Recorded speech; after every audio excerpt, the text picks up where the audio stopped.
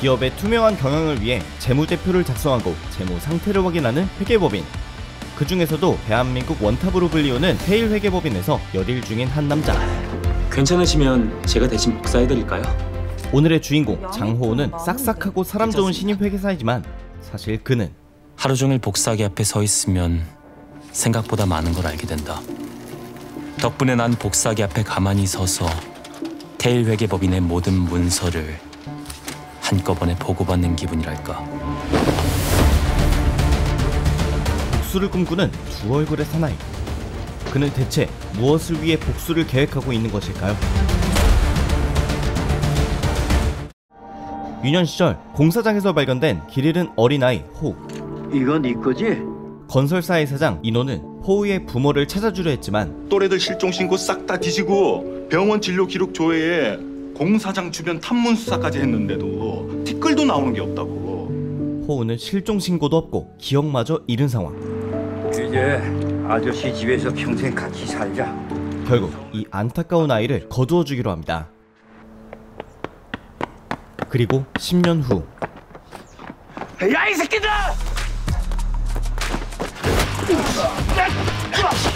정의감에 불타 쌈박질로 정의 구현 중인 호 우. 기죽지 말랬지 두들겨 패랬냐?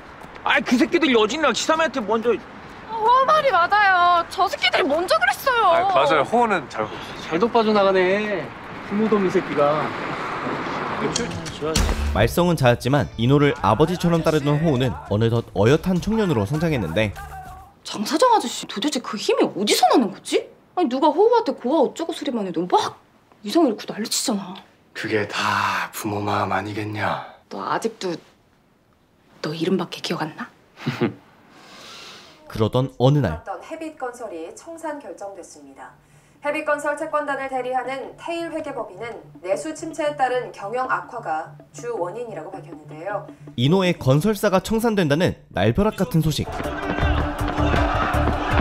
달려간 건설 현장은 이미 용역들의 무력 진압이 한창이었고 호우는 맨몸으로 현장에 뛰어드는데 이때 그만. 상황을 정리하며 등장하는 한 남자. 네가 여기 있는 전부를 다 때려 눕혀도 헤비건설은 이미 끝났어.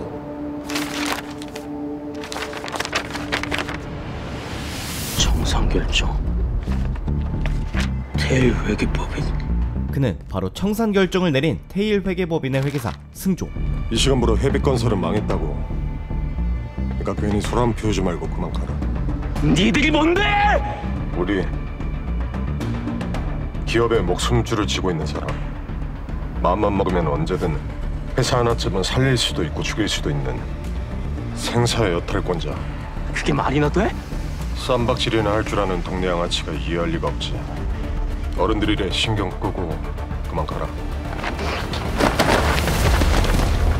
승조가 보여준 종이 한 장은 이 모든 상황이 합법이라는 것을 증명하는 문서로 주먹만으로 정의를 찾던 어린 호우에겐 너무도 버거운 어른들의 힘이었는데 그깟 돈이 뭐라고?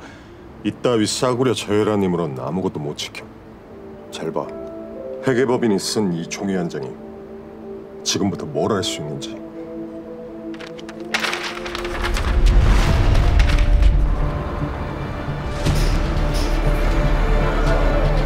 어린 호우는 어른들이 말하는 숫자의 힘 앞에 처음으로 좌절하고 맙니다. 그리고 야 호우야. 야 이거 이거 좀 봐. 그동안 수고했다. 고마웠다. 미안하다. 직원들에게 퇴직금을 챙겨준 이노. 호우는 불길한 예감의 공사 현장을 찾아갔는데 예감은 역시나 맞았습니다. 여기 누가 없어요? 여기 누가 좀 도와주세요 여기요 호우는 자신의 은인을 죽음으로 몰아세운 이 종이 한 장의 힘을 이해하고 싶었고 직접 전문가를 찾아가 보지만 잘 모르겠습니다. 굴지의 회계법인이 작성한 서류에 일반 회계사들은 그저 손사래를 칠 뿐. 아 그냥 가세요. 아 회계사님. 아 그냥 가시라고요. 아, 제발 한 번만 봐주세요 그때 회계사? 하나같이 테일 회계법인 눈치를 보느라 그런 건지 아님 내부자만 알 수 있는 건지 속 시원히 말해준 사람이 없어. 자신의 인생을 뒤흔든 종이 한 장을 이해하기 위해 호우는 직접 회계사가 되기로 결심하고 회계사가 되고 싶다고 될 수 있는 게 아닐 텐데. 테일 회계법인에 들어가서 알아내야겠어.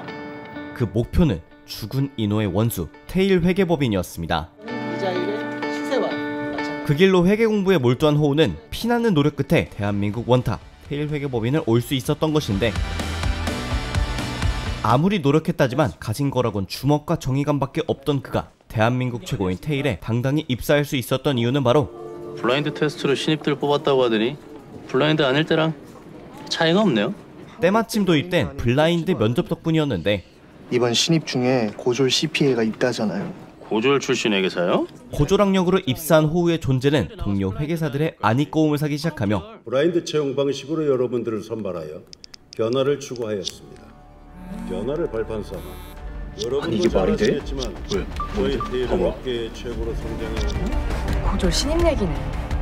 낙동강 아래서 부화된 미운 오리 새끼가 따로 없네. 미운오리 새끼가 된 호우의 험난한 회사 생활이 시작됩니다. 사람들 신입 회계사 아니야? 근데 파일이 하나도 없어. 그에게 할당된 업무도 하나 없었고 자 이번 지브라 프로젝트에는 김현민 선생, 예. 음, 유강재 선생, 네. 아, 그리고 조찬, 이기현 선생 이상 네 분 14시까지 회의실에서 뵙죠.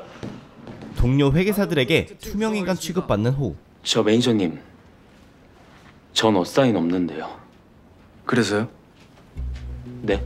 그쪽 어사인 없는 게 나랑 무슨 상관이냐고 물었습니다. 회계사면 다 같은 줄 아나.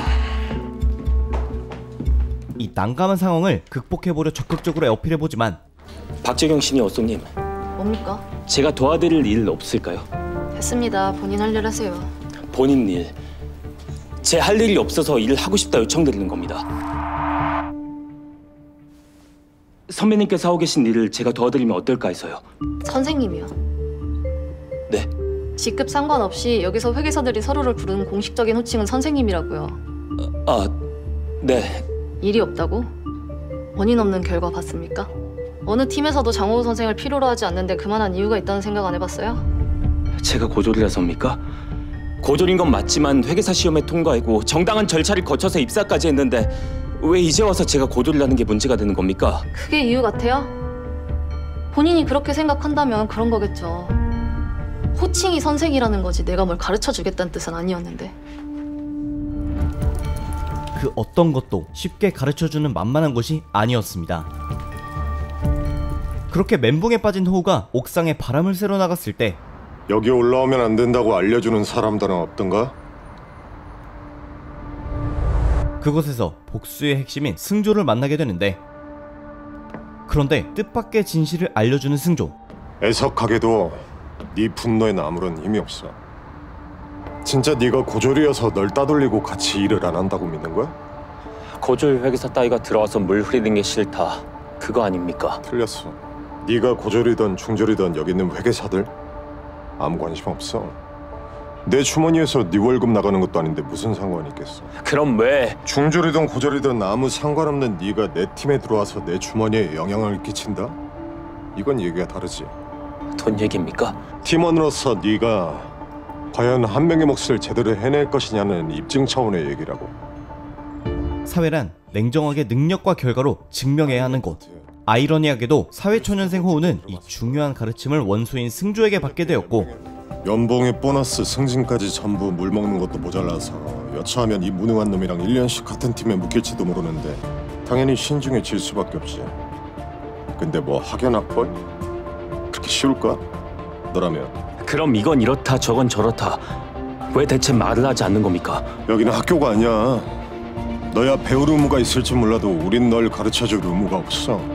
고졸이라는 선명한 리스크, 알 수 없는 능력치, 경험한 적 없는 팀업, 자연히 불투명해지는 기대 수익.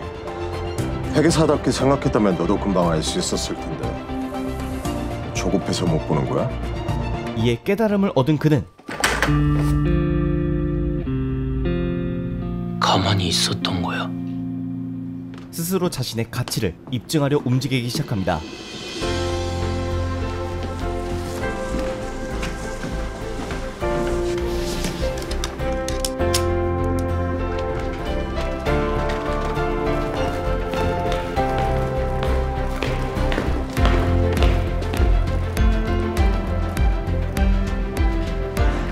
괜찮으시면 제가 대신 복사해드릴까요? 양이 좀 많은데? 괜찮습니다. 잡일이라도 도맡으려는 그의 노력이 반복되자 저 혹시 복사 말고 업무 메일도 보내줄 수 있어요? 네, 할 수 있습니다. 호우를 투명인간 취급하던 회계사들이 먼저 그를 찾기 시작했고 내가 팩스를 좀 받은 다음에 코멘트를 적어서 딴 팀으로 토스할 게 있는데요. 나 대신 팩스 좀 받아줄 수 있어요? 그럼요. 아 근데 그게 영국에서 오는 거라 시차 때문에 새벽은 돼야 될 것 같은데. 음, 네, 알겠습니다. 아, 진짜 괜찮아요? 시간이 흘러 그의 존재 입증은 회의실 세팅은요? 지금 장호구가 하고 있어요. 투명 인간에서 호구 정도로 발전되는데 장호구 4시까지는 꼭 돌려보내주셔야 돼요. 재본실 보내야 돼서요. 장호구? 이쯤 되자 호우의 의도가 궁금해진 승조 화내는 거 말고 할 수 있는 게 고작 이런 건가? 사람들이 널 뭐라 부르는지 알고 일하는 거야? 호구, 장호구. 뭐 그렇게들 부르는 것 같던데요? 웃음이 나와? 최소한 이제 더는 투명인간은 아니니까요. 투명인간에 비하면 진짜 엄청난 발전인데. 이렇게까지 해서 여기 남으려는 이유가 뭐야? 꼭 여기 아니야? 꼭 여기야겠는데요? 그러니까 왜? 테일 외계법인의 핵이 되고 싶어서. 뭐라는 거야? 그럼 저도 하나 묻겠습니다. 내가 뭘 잘못하고 있는지 왜 가르쳐 준 겁니까? 회계사님의 뭘 위한 겁니까? 호우 또한 원수 같은 그가 자신을 돕는 이유가 뭔지 궁금했는데 직권으로 합격 처리한 모양입니다. 그는 다름 아닌 고졸인 호우를 채용한 당사자로 회사 생활이 외로워서 고졸 회계사 같은 걸 뽑았던 거냐? 그딴 걸 어디다 쓰겠다고? 고졸 주제에 여기 어디라고 감히? 그러다 들켜요. 아버지 진짜 얼굴. 아버지이자 부대표인 재균에게 앙심을 품고 있던 그는 한승주. 그러니까 조심하시라고요. 아들을 장기판 말로 쓴 것도 모자라서 사람이길 포기하면서까지 쌓은 아버지 그 공든 탑 내가 다 무너뜨릴 수 있으니까 호우를 자신이 꾸미고 있는 모종의 계획에 이용하려는 것 내가 얻는 거 와일드카드야. 아무도 예측을 못하니까 누가 이길지 뻔한 게임에서도 판을 뒤흔들 수 있는 카드. 그래서 말인데 정우 너 내 팀으로 들어와. 하지만 싫은데요. 호우의 눈에 그는 그저 은인을 죽음으로 몰아세운 원수일 뿐. 하지만 승조가 호우에게 손을 내미는 이유도 아버지 재균에게 앙심을 품는 이유도 모든 것엔 숨겨진 진실 하나가 있었는데 그 상하그룹과 피플센터의 M&A다. 네가 맡아. 불러 올리신 이유가 이거였어요? 상하그룹이 다른 회사 먹는 거 저보고 도우라고요? 부대표 재균은 청렴한 현실로 존경받는 테일의 실세로 알려졌지만 횡령 배임으로 검찰 포토라인에 서게 생겼는데 아직도 정신을 못 차리고 이게 그러지 말라고.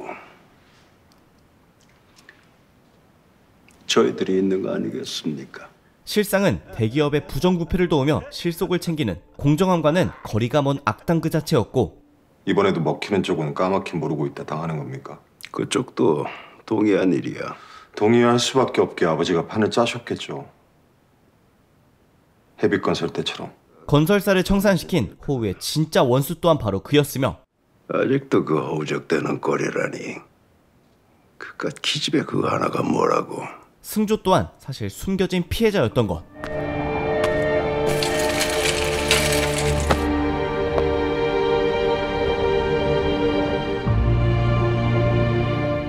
안심하죠. 아버지가 헤비건설을 상학으로 비자금 창고로 이용할 줄도 모르고 헤비건설을 아버지한테 떡하니 갖다 바친 걸 보면 지수 아버님 돌아가시게 만든 것도 헤비건설 사장이 죽은 건 자기 무능함에 대한 죄책감 때문이었다. 하지만 이런 진실을 호우가 알 리는 없었고 싫은 이유가 뭐야? 테일 회계법인 유스텝이면 내 팀에서 일하고 싶은 게 당연한 건데 네가 왜? 독단적 상품으로 인한 인차지 리스크, 한재균 부대표 아들이라는 유명세에 비해 알 수 없는 능력치, 굳이 경험 안 해봐도 알겠는 팀워크, 자연이 불투명해지는 기대 수익. 경험 많은 회계사시니까 잘 아실 텐데요. 그의 제안을 대차게 거절하고 다시 장호구의 생활로 돌아가는데 그때. 조회수 없인 감사 보고서가 나발이고 말짱 꽝이라고. 신경 쓰라고 내가 몇 번을 말했냐고요. 한 문서 때문에 난감해하고 있는 감사팀. 담당자가 외근 갔다 준비가 덜 됐다. 사람 하나 바보 만들면서 갖고 노는데 저도 미치겠다니까요. 그래도 받아왔어야죠 무슨 수를 쓰든. 똥개 훈련 시키는 직원들한테 꼬랑지라도 흔들어야 됐다는 소리입니까? 필요하다면 했어야지 말이 너무 심하신 거 아니에요? 에이 최 선생 그리고 이때. 제가 하겠습니다. 호우는 자신의 능력을 입증하기 위해 자원하는데 허락해 주시면 제가 지금 바로 금양시에 내려가서 금융기관 조에서 책임지고 받아오겠습니다. 이는 은행에서 서류만 받아오면 되는 간단한 일이었지만 서울에 있는 태일회계법인에서 금융기관 조에서 받으러 왔습니다. 번호표 뽑으세요. 피플젠터 예금 잔고랑 대출액이 얼마인지만 번호표 뽑고 기다리란 말 안 들려요? 우리가 무슨 지 쫄다고요. 쇼터 내리고도 한참이라고 생각하는데. 어디도 새치기야 새치기다 밀린 업무를 핑계로 비협조적으로 나오는 은행원 적금 찾으시려면 이거 쓰셔야 돼요. 안 들려 좀 크게 얘기해 어르신 신분증이요. 아 나 누군 줄 알면서 뭘 그런 걸 달려? 그게 있어야지 업무가 돼요 어르신. 이대로면 다른 회계사와 마찬가지로 빈손으로 돌아가야 할 상황이었는데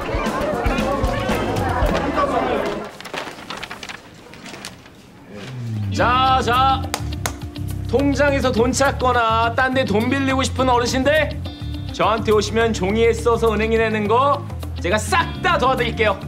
저 이상한 놈 아니고 회계사예요. 회계사. 통장 계좌번호는 은행 직원한테 해야지 아니면 알아서 해주면 안 되지 저한테 오시는 분들겐 내게 아까워 죽겠는 은행 수수료 전부 제가 쏠게요. 선착순 10명. 저요, 저요, 저요, 저요. 은행 업무가 어려운 어르신들을 직접 도와드리며 뻔히 보이는 은행원의 핑계를 해결해버리고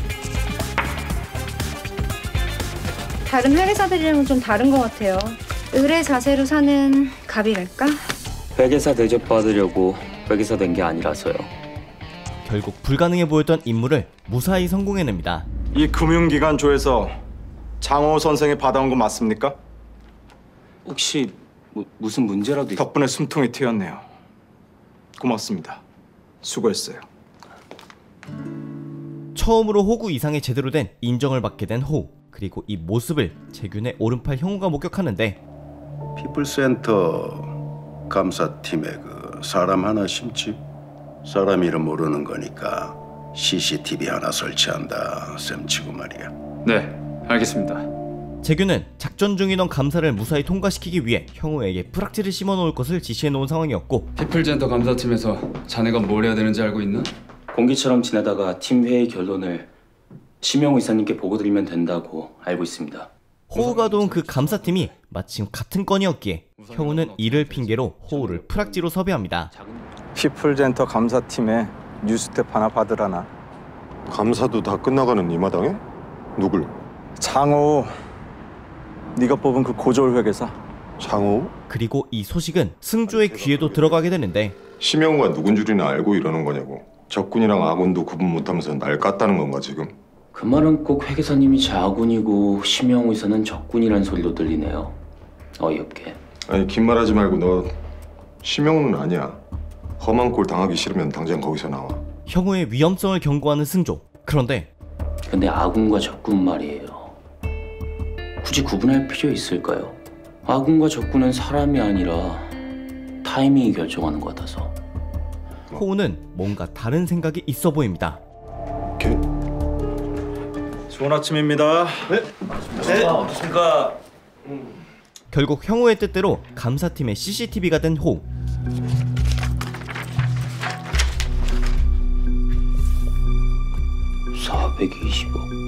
그때 재무제표를 보던 호우의 시선에 재고자산이 걸리는데 피플젠터 재고자산이 420억이던데 엔터에서 재고자산이 이렇게 많기도 한가요? 보통 그 정도까지는 아닌데 피플젠터가 투자 제작한 영화 두 편이랑 소속 연예인들 굿즈 때문이래요. 영화랑 굿즈요?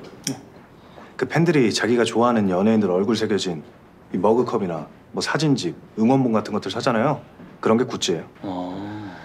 그날 이후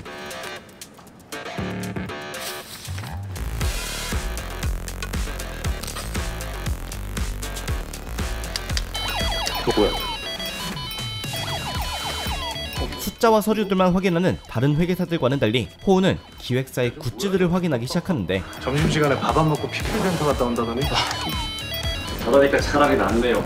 뭐랄까 감시당하는 것 같아서 별로요. 그렇죠. 문서와 숫자 너머 다른 시각으로 바라보던 호우는 결국 마음에 걸렸던 재고 자산에 오류를 집어냈는데 작년이랑 재작년에 연관 시사회를 하긴 했는데 불펜데 시사회만 하고 개봉은 안 했더라고요. 시사회 기사 하나 없는 것도 좀 이상하고 여기 보시면 장호 선생? 네. 그 피플젠터 재고 자산 부분은 저기 조 선생님이 아주 충분히 보고 계시니까 우리 장 선생은 신경 안 써도 돼요.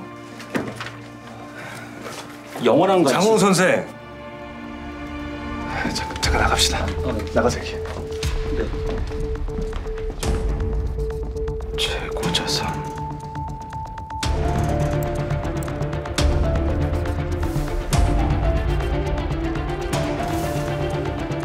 호우의 지적에 놓치고 있던 오류를 찾은 강현 엔터 회사가 직접 제작한 영화랑 굿즈를 재고 자산에 포함시킨 이게 뭐가 문제라고 이러세요? 저희만 그러는 것도 아니잖아요. 엔터 회사가 제작 작품과 물품을 재고 자산에 포함시키는 거 정상적인 경우에 하등의 문제가 안 되죠. 근데 피플즈 엔터 재고 자산으로 잡혀있는 영화랑 굿즈는 진짜 자산이 아니라 손실을 은폐하려는 속임수니까 문제인 거 아닙니까? 언론은 해외 선판매 예정이라고 홍보했지만 실제로는 판매되지 않았습니다. 사려던 데서 완성작을 보고 구입 부사를 철회했더라고요. 그 굿즈 관련된 건 뭡니까? 굿즈의 상당수가 지금은 활동을 중단한 가수들 겁니다. 피플젠터와 계약 기간이 아직 남아있기 때문에 재고 자산으로 잡힌 게 틀린 건 아니지만 판매될 가능성은 희박하다는 소리죠. 한마디로 살 사람이 없는 수요 없는 제품이다. 현재 피플젠터는 죽기 일보 직전입니다. 아, 네, 전화 받았습니다. 구 대표님. 강연 회계사가 뭘 안다고요? 강연 회계사가 의견 거절 주면 진짜 저희 죽습니다. 재규는 피플센터 감사 적정으로 하지. 몰랐으면 모를까. 알고도 덮을 순 없습니다. 지금 내가 하는 말 말이야. 그 부탁으로 들리나? 이젠 협박으로 무마하려 하는데 회계사로서 다시는 살기 힘들 수도 있을 테고. 어쩌면 다시는 회계사로 일을 할 수 없을 상황에 그가 선택의 기로에 고민하던 그때 난데없이 나타나 한마디 거두는 호우 장호 선생은 왜 회계사가 된 겁니까? 제 분노엔 힘이 없어서요. 아무리 화가 나도 내가 할 수 있는 게 아무것도 없었거든요. 회계사님의 분노엔 힘이 있잖아요. 잘못된 걸 바꿔놓을 수 있는 힘. 숲이 되기 전에 썩은 나무를 도려낼 수 있는 그런 힘이요. 그의 양심을 건드리는 호우의 말에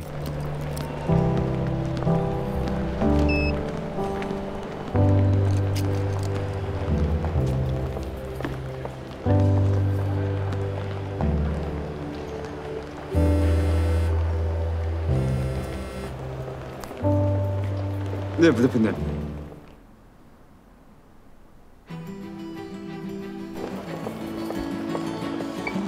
강연 회계사는 결국 양심을 선택하고 스스로 회사를 떠나기로 합니다.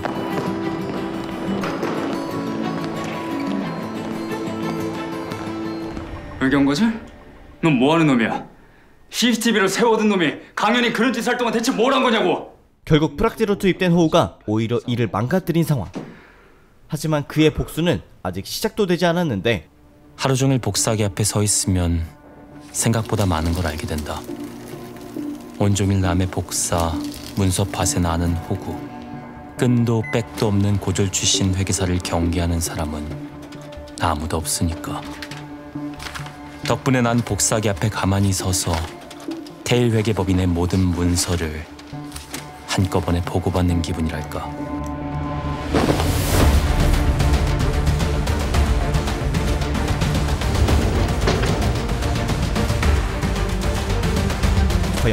호우는 어떤 복수를 시작하려는 것일지 매주 금토 MBC에서 오후 9시 50분에 만나볼 수 있는 넘버스 빌딩 숲의 감시자들입니다.